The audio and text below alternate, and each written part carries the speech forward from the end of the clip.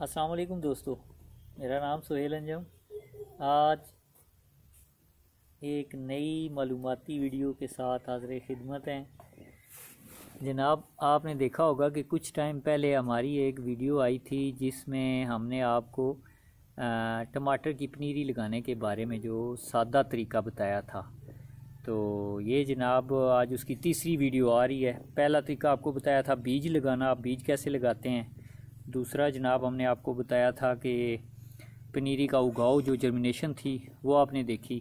आज देखें कि ये तकरीबन तीसरा या फिर चौथा जो पत्ता है वो आ, निकल रहा है इसका। ये अगर आप गौर करेंगे तो आपको ये नज़र आएगा। ठीक है जी? ये ये आप देख सकते हैं। ये ठीक है जनाब? ये आज आपको दिखाना था। ये तकरीबन और आठ से एक हफ़्ता तकरीबन और उसके बाद ये अपनी निकालने के काबिल हो जाएगी। इसको फिर हम शिफ्ट करेंगे। उसकी भी वीडियो आपको दिखाएँगे। तो ये सारी इसकी डिटेल्स मैंने आपको बताया था इसके शिफ्ट करने तक, इसका फल आने तक। ठीक है? ये सारी आपको चीज़ें जो हैं वो बताते रहेंगे। ये आपको एक मरतबा फिर से मैं बता देता हूँ, ये बेल वाला टमाटर है। बेल वाला। ठीक है जनाब?